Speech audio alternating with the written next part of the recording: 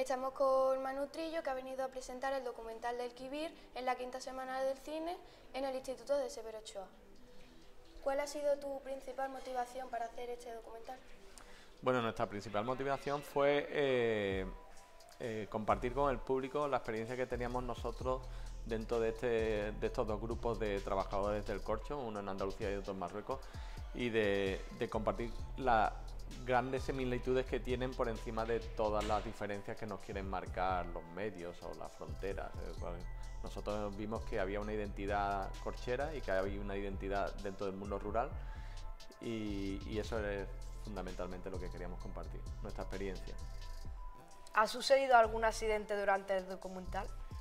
Pues mira, tuvimos suerte y no, no, tuvimos que ver ningún accidente en el documental. Pero sí es verdad que en el mundo, en el trabajo del corcho, hay dos tipos de accidentes. Uno es con el hacha, que suele ser de, de dedos e incluso de, sobre todo en las piernas, porque cuando rebota el hacha.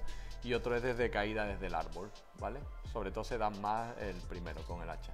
Pero gracias, tuvimos suerte y no, no nos tuvimos que ver en esa situación. ¿Qué es lo que más te ha gustado de hacer este documental?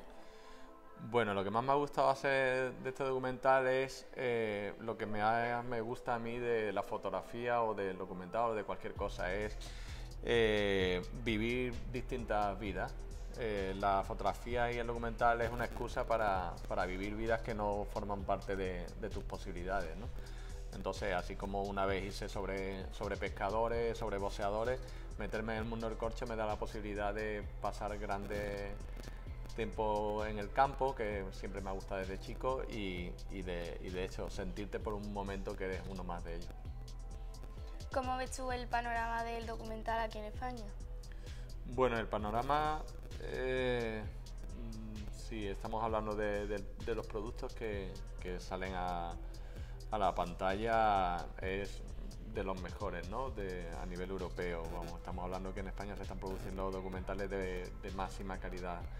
El panorama de la gente que trabaja en el documental, pues como cualquier cosa que, que, estemos hablando, una expresión artística que además conlleva una crítica a la sociedad en la que vivimos, que al fin y al cabo el documental parte de eso, ¿no? de una necesidad de contar una manera, de una visión del mundo. ¿no? En ese sentido, eh, el panorama no lo veo tan, tan bueno porque no hay las ayudas públicas que debería haber para, para ese tipo de visiones y después las ayudas privadas pues siempre van a ir por un enfoque que no va a ser una crítica al sistema en el que vivimos, ¿no? Pero bueno, ese es el panorama que ha tenido siempre tanto el documental como la fotografía, cualquier cosa independiente. Cuando hablamos de documental, ¿cuál es el panorama del, del documental en España? Siempre estamos hablando de, le llaman el panorama del cine de autor o el cine independiente, que al final lo único que está escondiendo es el panorama del cine eh, de gente que no tiene dinero y financiación para llevar a cabo sus proyectos. Entonces creo que las cosas están cambiando poco a poco, pero que bueno, que supongo que de aquí a unos años veremos un, unos tipos de productos cada vez mmm, con menos libertad de, de, decir su mensaje porque la financiación es fundamentalmente privada.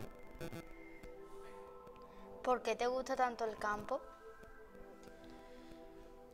Pues mmm, creo que para esa pregunta no hay respuesta de un por qué. Yo sé, desde muy chico siempre me ha llevado la atención el campo y sobre todo el estar solo en el campo. Porque desde muy pequeño, cuando tuve capacidad de independencia de salir al campo solo, me he pasado temporadas en el campo, de viajes, de, tirarme una semana, por ahí fuera. Buenos días, me llamo Manu Trillo, soy el director del documental Kibir, que he venido hoy a presentar aquí en el IES Severo Ochoa en la quinta semana de cine. Eh, nada, mandaros un saludo y esperar que, que dejéis de jugar tanto a la maquinita, al Fortnite y os metáis en el cine, que es una manera de transportaros a otros mundos y a otras maneras de, de ver lo que está pasando.